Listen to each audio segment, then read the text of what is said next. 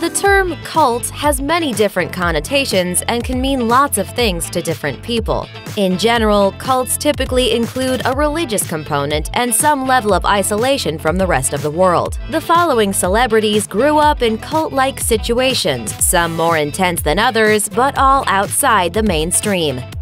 The Arquettes Actor David Arquette was born in a Subud commune in Virginia, where he lived briefly with sisters and future fellow thespians Patricia and Rosanna along with their parents. Subud is a non sectarian Indonesian spiritual movement based in meditation.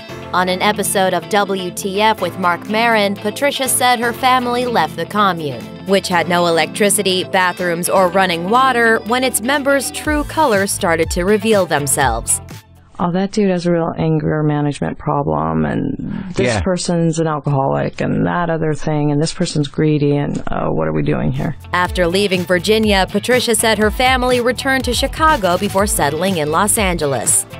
Rose McGowan. In 2011, Charmed alum Rose McGowan revealed to People magazine that she spent the first nine years of her life growing up among the Children of God sect in Italy. At first, she claimed the setting was really idyllic, but she later rebelled against the cult's hippie lifestyle and rigid gender roles, saying, quote, I did not want to be like those women. They were basically there to serve the men sexually. Things took a turn for the worse when McGowan's father reportedly feared his daughter might be molested by members of the group, prompting their family to escape and flee to America. Glenn Close. Close's family joined the radical conservative missionary group called Moral Rearmament when she was just seven. The actress told the Daily Beast that she lost her sense of individuality during this time. It's cult living where you're told what to say and how to act. It's very sexually repressive, and yet you're supposed to be remaking the world. As a child, it's catastrophic because that's where you're trying to figure out who you are.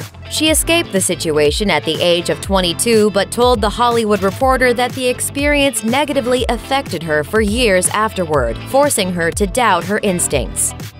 Toni Braxton in her Unbreak My Heart memoir, the famous R&B singer revealed that she joined Pillar of Truth, a Pentecostal apostolic group, with her family as a young girl. She said her family fell into religious extremism where women and their nakedness had to be covered up in full and almost everything was considered evil, including going to the movies. The group allegedly required its members to speak in tongues, which Braxton reportedly faked at eight years old just to keep up. According to the Daily Mail, the Braxtons subsequently joined two more repressive churches before finally joining a more mainstream congregation.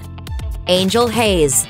The Detroit based rapper was raised in the Pentecostal Greater Apostolic Faith Commune. The lifestyle was reportedly extremely insular, with its members all living in the same community within 10 minutes of each other. I wasn't allowed to listen to music or have friends that were outside of it or like generally like associate with other people. Haze says she also wasn't allowed to wear jewelry, to eat certain things, or go on dates. She went to church three days a week unless there was a revival, which required daily church attendance. She told The Guardian she used to just crawl under a bench and try to sleep.